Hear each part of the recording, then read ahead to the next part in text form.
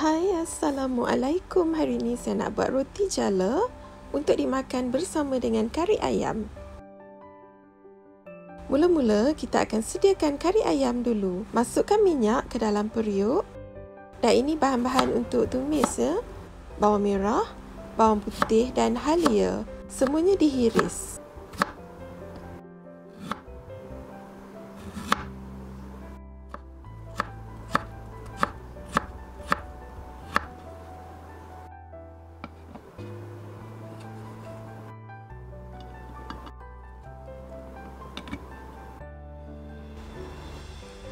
Tumiskan bahan yang kita hiris tadi dalam minyak yang panas bersama dengan daun kari.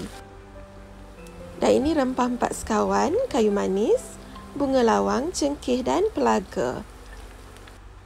Tumiskan kesemuanya sehingga harum. Ini bahan-bahan untuk dikisar halus. Bawang merah, bawang putih dan halia. Hiriskan secara kasar untuk memudahkan kita mengisar nanti. Masukkan ke dalam balang blender bersama dengan lebih kurang setengah cawan air dan kisarkan.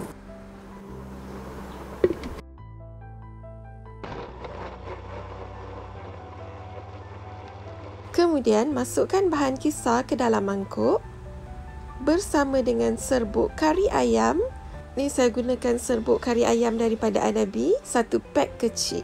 Ada orang dia terus masukkan serbuk kari ke dalam tumisan ya, tanpa perlu bancuh dengan bawang kisar.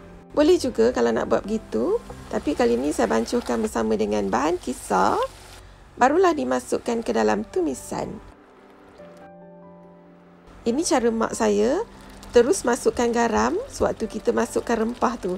Tujuannya supaya rempah lebih cepat garing saya gunakan garam kasar ya. Kalau nak gunakan garam halus pun boleh.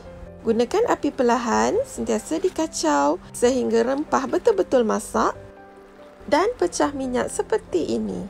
Bila terbit minyak, tambahkan sedikit air dan masaklah lagi sehingga pecah minyak sekali lagi. Ini penting ya supaya kari kita tidak cepat basi. Seterusnya masukkan ayam, saya gunakan lebih kurang setengah ekor. Gaul sebati bersama rempah, biarkan sekejap. Bila nampak ayam mulai kecut sedikit, masukkan air sebagai kuah dan saya gunakan santan kotak, santan kelapa daripada Anabi ya. Saya tak sukat pun, saya gunakan lebih kurang 1 per 4 kotak. Tak sampai setengah kotak pun ya. Kacau sebati dan biarkan mendidih.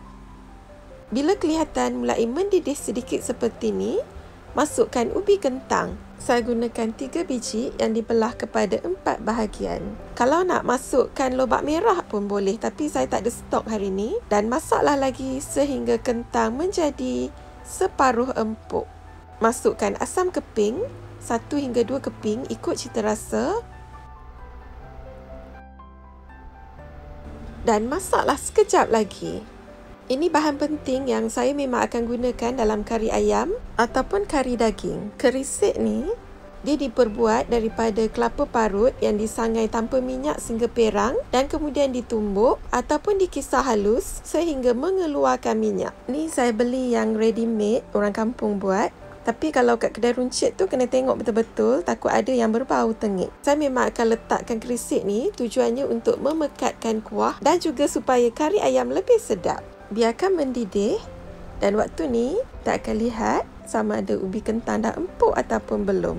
Waktu ni juga anda boleh rasa kalau kurang garam boleh tambahkan sedikit lagi garam. Suaikan rasanya, boleh matikan api. Kuah ni akan jadi semakin pekat setelah sejuk nanti. Untuk bahagian yang kedua, kita akan sediakan roti jala pula. Masukkan tepung gandum ke dalam mangkuk. Ni saya suka gunakan cawan metrik anda boleh gunakan apa-apa jenis cawan yang untuk minum kopi atau teh kat rumah tu tapi pastikan sukatan semua bahan gunakan cawan yang sama saiznya. Seterusnya masukkan air. Resepi saya ni memang tidak menggunakan santan ya dan juga tak gunakan susu sejat.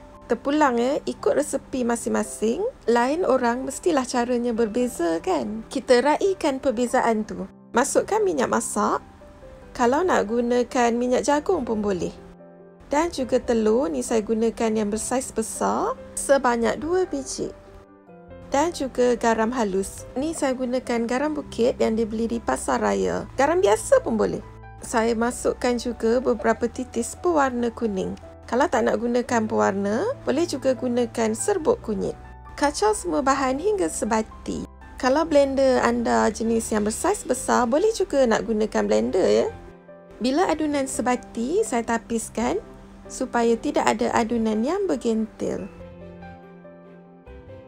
Ni acuan yang akan saya gunakan. Ni saya beli di kedai yang menjual barangan plastik ya. Tips yang penting, setiap kali kita nak masukkan adunan dalam acuan, mesti dikacau untuk mengelakkan mendapan. Saya gunakan kuali non-stick dan sapukan dengan sedikit minyak masak. Jangan sapu banyak eh, sedikit saja.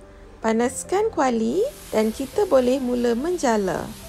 Saya gunakan api yang sederhana perlahan. Roti jala ni nipis, kita tak perlu terbalikkan. Bila nampak mulai kering pada bahagian atasnya dan bahagian kelilingnya seperti terangkat sedikit, bolehlah diangkat dan kita boleh melipat ikut kreativiti sendiri. Macam di sini saya menggulung eh.